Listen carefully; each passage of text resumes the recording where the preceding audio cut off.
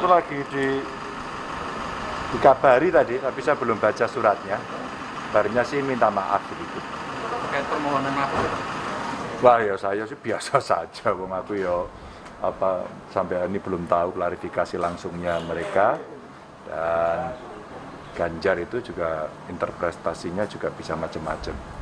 Ya mudah-mudahan tidak ada niat buruk agar semuanya bisa saling menjaga gitu aja. Kalau saya sih biasa aja.